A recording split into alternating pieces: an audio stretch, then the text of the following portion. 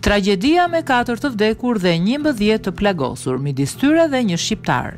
Një ngjarje tragjike ka ndodhur ditën e sotme në Florida të Shteteve të Bashkuara të Amerikës, ku si pasojë e të shtënave me armë zjarri në një turmë Të video-lojrave vdiqën katër persona dhe njëmbëdhjetë të tjerë kanë mbetur të plagosur. Pjesë e këtij turneu ishte edhe një shqiptar i cili ka mbetur i plagosur në dorë. Shqiptari, Drini Gjoka, tha menjëherë pas ngjarjes se ishte me shumë fat që shpëtoi vetëm me një plumb në dorë.